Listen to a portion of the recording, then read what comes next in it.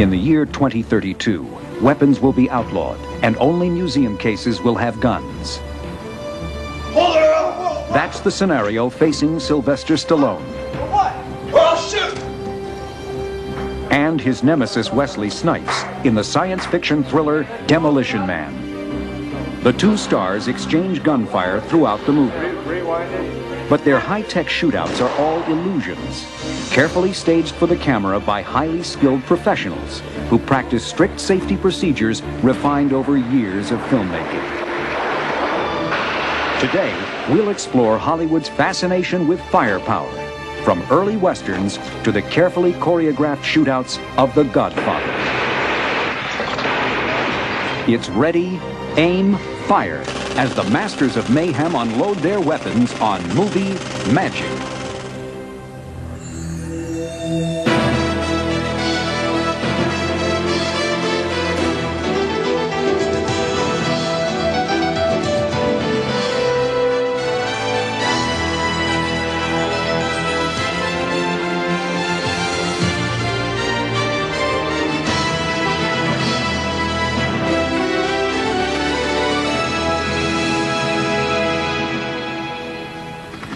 It's well past midnight, and the cameras for Demolition Man have yet to roll. But then, this is no ordinary shot. This is the scene where our two characters, Sly and Wesley, kind of face off. This is the very beginning of the film, and we hope it gets off with a bang. That's the plan. For Joel Silver, producer of such action movies as Die Hard and Lethal Weapon, bang means bringing down this massive structure, a former municipal utility building in downtown Los Angeles. A crew of true demolition men will blast the building with dynamite. To ensure the moment looks explosive enough on film, the special effects team will enhance the blast by igniting 230 gallons of gasoline.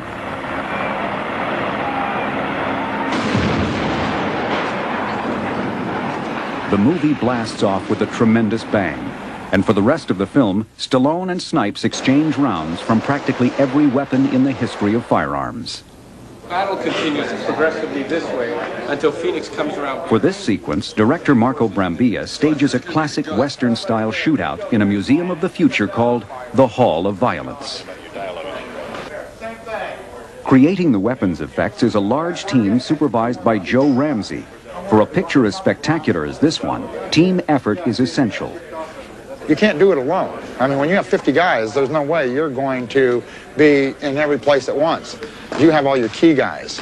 And uh, any job I give any of them, I have total confidence it's going to get done. It's going to get done right. It's going to be done safe. Such confidence comes from hands-on experience acquired over the years. For despite Demolition Man's futuristic setting, its scenes of gunplay are an old Hollywood tradition. In the first westerns, the illusion of bullets striking objects was created by shooting pieces of chalk or marbles with a slingshot. Through the years, movie makers have used weapons to add firepower to their stories. Weapons that have often come from Stembridge gun rentals. Founded by J.S. Stembridge and director Cecil B. DeMille in 1920, the Stembridge collection of firearms has been showcased in hundreds of Hollywood productions. From the airplane-mounted Lewis machine guns that brought down King Kong, to the minigun used by Arnold Schwarzenegger in Terminator 2. Today, third-generation Sid Stembridge continues the family business. The weapons that we have here in Stembridge Gun Rentals encompass basically guns from the early era of matchlocks and wheel locks, which would have been the 1560s, 1580s period, all the way up to the present with all the different automatics most of our guns are converted to fire blank ammunition only. We do not make or use any live ammunition here at all. The blanks have powder in them just like a regular shell would have, but the shells themselves are crimped closed without a bullet on them. So when you fire the shell, nothing leaves the barrel. So there is just an explosion that occurs without a projectile leaving it wasn't always this way. In many movies of the 1920s and 30s, filmmakers used real bullets. Expert marksmen fired live rounds, sometimes aiming only a few inches from the actors. Actor James Cagney finally tired of this dangerous practice. In Angels with Dirty Faces, he refused to let machine gun bullets shoot out glass around his head. When the scene was filmed without Cagney, bullets ricocheted into the wall where he would have been standing.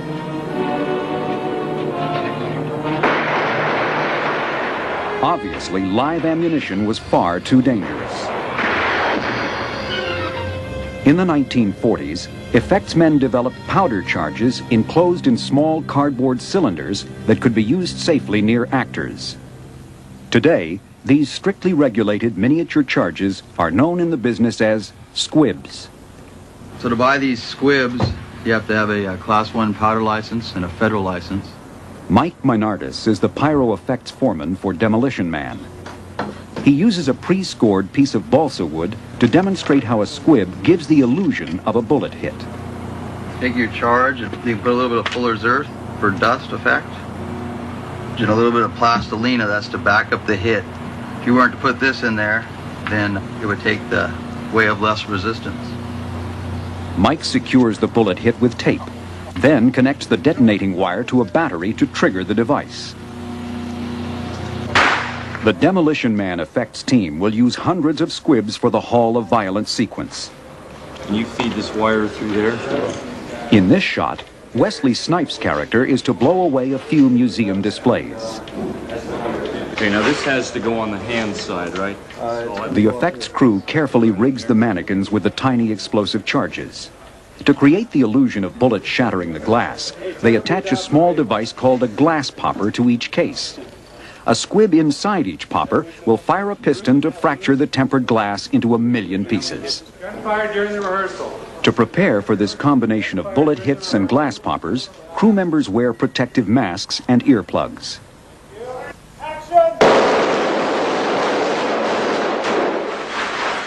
While bullet hit squibs produce a dynamic and controlled effect, the rigging time limits their practicality. In this shot, Sylvester Stallone's unarmed character must dodge bullets from Wesley Snipes' rapid-fire machine gun. To create the illusion of bullets striking the walls behind the star, Joe Ramsey will shoot spark hits using an air-propelled pellet gun. It's your basic paintball gun. CO2 is your pressure for power. Uh, single shot pump sights because we, when this one, we're using this one, we're going for real direct hits. We could have you as the actor or say have an actor's head here and basically feel pretty comfortable shooting right beside him. To create sparks, the gun fires breakaway capsules containing a tiny quantity of a combustible spark ingredient called zirconium. Bird gravel is added to provide friction. When fired, the impact ignites the spark, similar to a match striking a rough surface. What we shoot generally is combinations of dust and spark. The spark they always love for the ricochet look. A dust shows an impact. So you generally go dust, spark, dust, spark. Mike Minardis demonstrates the gun's effectiveness. Just pull this back. By pushing on the trigger lightly, you can single shot it. Or by holding it down, you can fully automatic. That's it, that quick, 10 hits. Concern for safety continues with the actor's prop weapons. Before every take, the prop man inspects each firearm before allowing the actors to shoot blanks. To complete the illusion of mayhem, the effects team adds a touch of smoke, plus fire from a flame bar. The set is ready for an explosive shootout. Hey, Mark. Okay, here we go. Ready? And action! what did I say? I'm a blast from the past. Should have stayed there. That familiar. That? In the film, Stallone's character appears to narrowly escape a round of bullets. But not everyone gets away so easy. These, of course, are just dummies. For a character to receive a bullet wound on film, another kind of pyrotechnic artistry is required. In Hollywood's earliest films, gunshot wounds were rarely visible. In those less graphically violent times, actors simply clutched their wounds during death scenes. But by the 1970s, effects artists commonly used blood packs to add dramatic impact.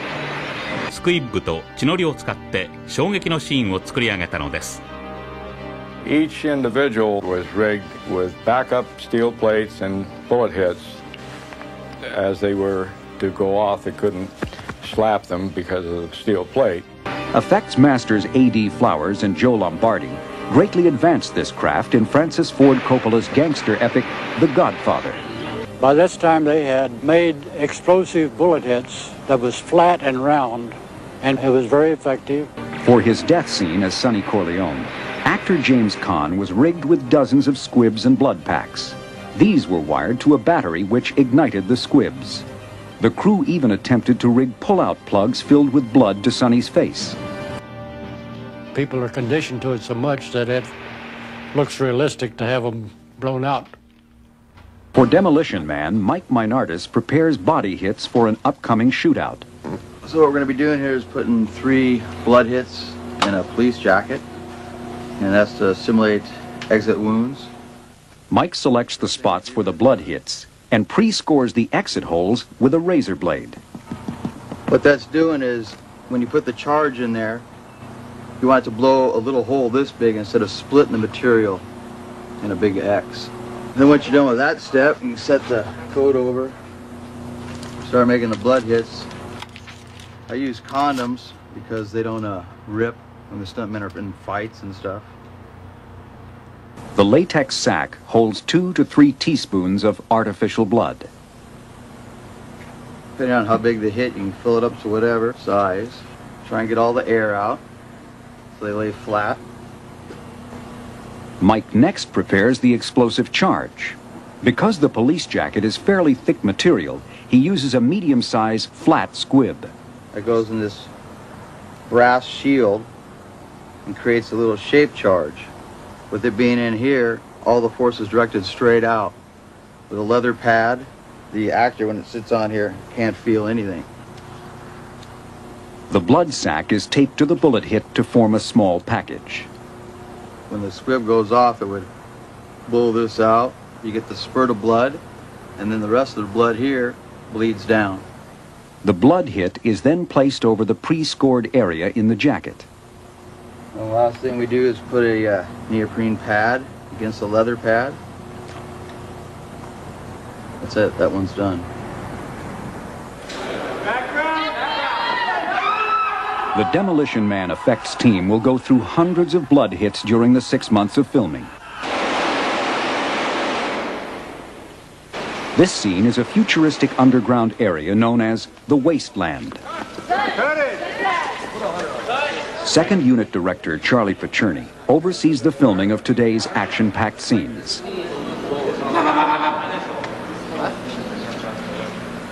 At this point in the story, actor Roy Asuega meets a bloody demise. The effects team carefully rigs body hits into Roy's costume.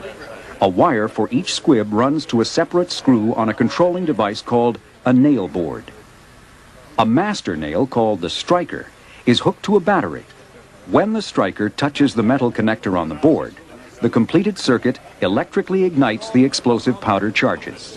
To enhance the moment, effects man Andy Seebach shoulders a spark gun to spray the area around Roy. Action!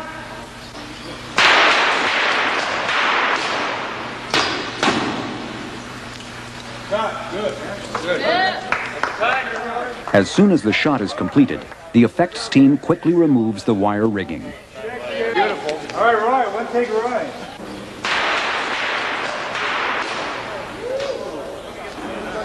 The next setup is for one of the most dangerous scenes in the movie. Bill Aldridge is the effects foreman for this sequence. In this scene, uh, Wesley Snipes comes in with a futuristic weapon, and he's got Sly dead to rights in the, uh, with the gun.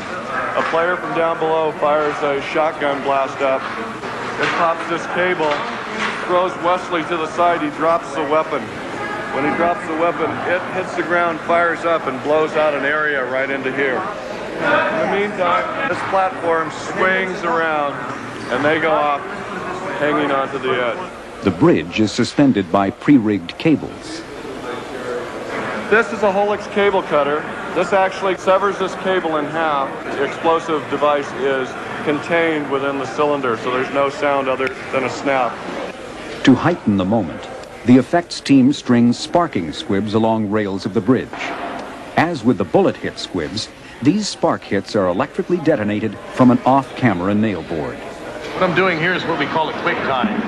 We bar like that, so if we have to reload, they can pull apart real easy, and we can get in there and jerk it off real quick. As shooting time approaches, stunt doubles for both stars are cabled onto the bridge railing. Every detail is carefully reviewed to ensure a safe flight. But a moment this big always contains an element of danger. Background. The bridge drop provides the film with a heart-pounding jolt.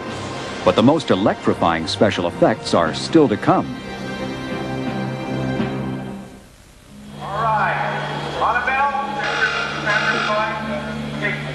Demolition Man lives up to its title with a finale that will destroy an enormous three-story solid steel set. In this glistening prison, convicts of the future are cryogenically frozen.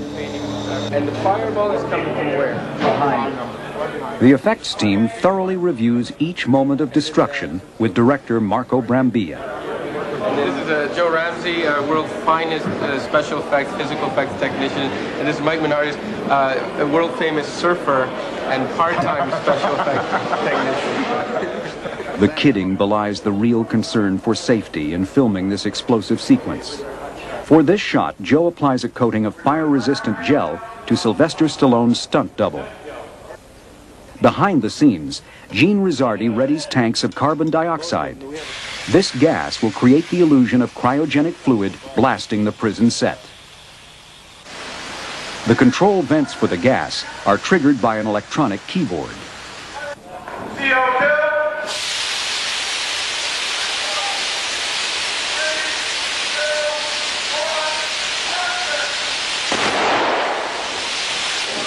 All right, the next deal is over here, guys. We're against the bar with Sly. At this point in the story, the two protagonists will duel to the death as the prison set self-destructs around them.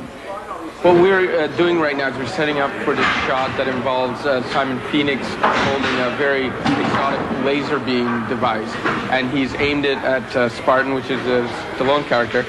And uh, behind Sly, as he jumps, it cuts a huge swash of white hot metal into these prison bars. So what we're doing is sequencing these squibs across these prison bars so that as soon as Sly crosses frame, we'll be triggering the bar just behind it. And when we combine it with an optical effect that's to be done later on computer, uh, it'll look like there's this white hot plasma beam uh, just following Sly.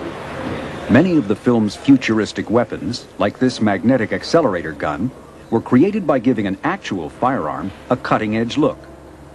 But the laser device used in the climactic battle is one of a kind. A 21st century ice pick, this magnesium thermite laser is to blast a hole in these prison bars. To simulate a laser hit, the effects team uses flash paper, a thin sheet covered with flammable powder. Strips of the paper are wrapped around the sections of the bars where the beam is supposed to strike. A sparking squib is attached to each bar in order to ignite the paper. For safety, the detonating wires that run to each squib will be connected last. This prevents any of the charges from being set off prematurely, an important precaution. As a quick test reveals, the flash paper deserves its name. To create the illusion of the beam cutting through metal, the effects team replaces a section of prison bars with one that's been pre-cut. Uh, what we're going to do is we're going to wrap this with flash paper and paint it so that it matches the bar approximately. And when the Z17A goes off, it ignites the flash paper. We'll do it on a nail board in sequence so that it'll look like a laser that cut through the bars. With flash paper concealing the cutout segments, touch-up painter Rocky Poloni expertly masks the bars so that they appear frosted with frozen cryogenic gas. As the effects crew ties in the wiring to the nail boards, the camera crew rehearses the shot.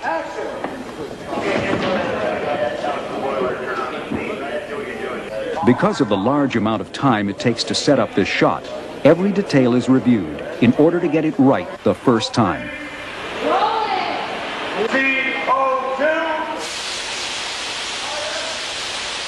Still, a last-minute problem arises.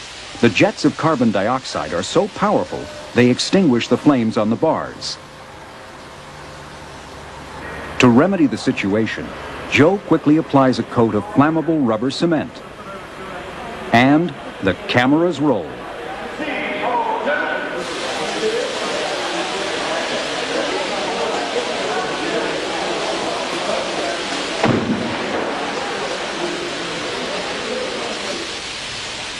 As the video playback reveals, the crew got a perfect shot.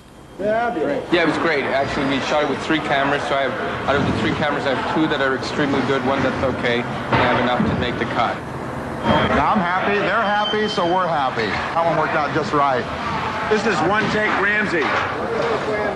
Whether it's creating gunfire or the effects around it, it's the skill and experience of people like Joe Ramsey, Mike Menardis, Bill Aldridge, and Charlie Picerni that keep cast and crew members safe while ensuring that filmmakers get the required shot. Proving once again that a hard-charging movie relies not on ammunition, but illusion to generate thrills. You get so many people that'll come on and they'll say, you know, were you a demolitions expert in the military? And you go, no, and you got, you got to remember, they really blow things up. We simulate. Even when the movie's called Demolition Man, it's the film's special effects team that gives an action spectacular its spark of movie magic.